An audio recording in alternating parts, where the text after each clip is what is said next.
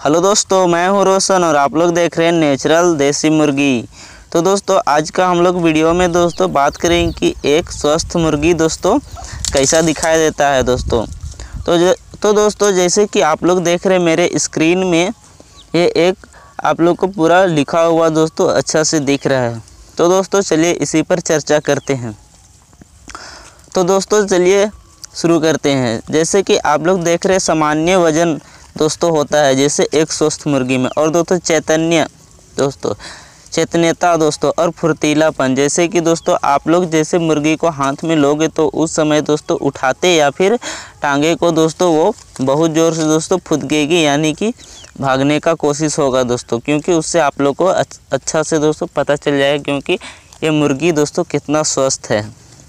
तो दोस्तों आगे और है कि दोस्तों चेहरा भरा हुआ, जैसे दोस्तों कोई सुस्त हुआ हुआ रहता है, दोस्तों कोई यानी कि कई दिन से खाया पिया नहीं हुआ रहता है। तो वो दोस्तों आप लोग को सुस्त हुआ एकदम। और दोस्तों नासिक साफ़, यानी कि वहाँ का नाक में दोस्तों कोई वहाँ पे गीलापन नहीं रहेगा और पूरा साफ़ सुथरा।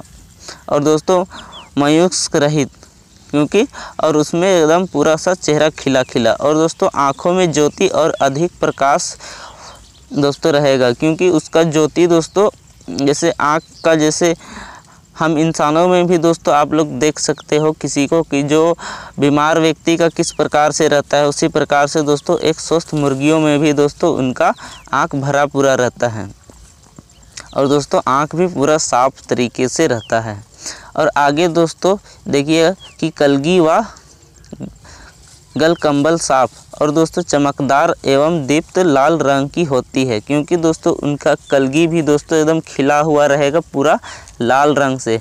और दोस्तों, जैसे कि आप लोग कलगी को देखोगे, वो पीला हुआ रहता है, पीला बना हुआ।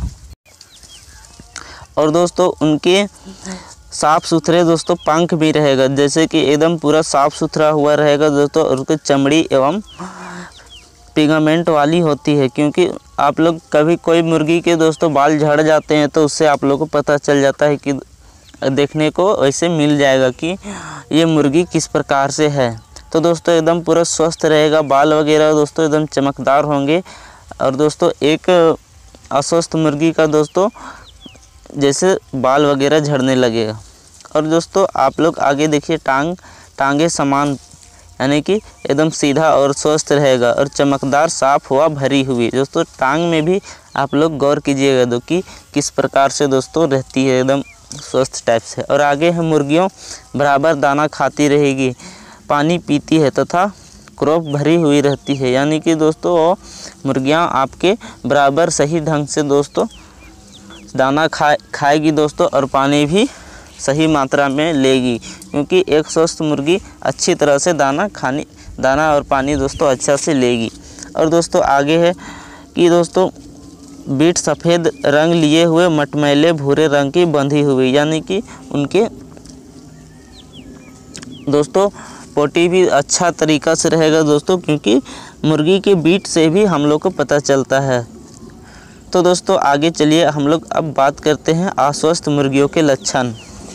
तो दोस्तों, इसमें आप लोग को आप लोग स्क्रीन में देख रहे हैं कि वज़न में कमी होता है। सुस्त एवं उदासी, उठते समय संघर्ष ना करना, सांस लेते समय व्याकुलता तथा शारीरिक तापमान या अधिक होना, यानी कि वो मुर्गी दोस्तों, आप लोग का जो भी है आपके पास, वो दोस्तों वज़न में कम आए आएगा और सुस्ती भी और उदासी हुई रहेगी। उठते समय या संघर्ष, यानी कि ताकत लगा के उठेगी। और दोस्तों, सांस सांस लेने में एकदम से तकलीफ़ होगा और शरीर भी का तापमान दोस्तों अधिक, यानी कि मुर्गी में का शरीर पूरा गर्म रहेगा। और आगे है, पेट फूला हुआ, जल से भरा हुआ, नासिक में म्यूकस, नेत्र सुस्त व सूजे हुए होना। क्योंकि दोस्तों, इस स्थिति में पेट फूला हुआ रहेगा और दोस्तों, उस समय ज़्यादा पानी पिएगा और जिस कारण शरीर में ज़्यादा पानी की मात्रा रहेगा। और नासिक दोस्तों, एकदम फिंगा हुआ रहेगा, म्यूकस यानी मुरझाया हुआ और नेत्र भी सूजे हुए, यानी कि उसके आँख भी एकदम मुरझाए हुए रहता है। कलगी कलगी सुकड़ी या मुरझाई हुई, पीले या नीले रंग एवं गलकम्बल गलकम्बल में सूजन का होना, क्योंकि दोस्तों इनके कलगी भी सुकड़े हुए रहते हैं। जिससे स्वस्थ मुर्गी का दोस्तों खिला हुआ रहेगा और अस्वस्थ मुर्गी का सुकड़ा हुआ रहेगा। और दोस्तों, उनके रंग भी नीले या फिर पीले हो जाते हैं।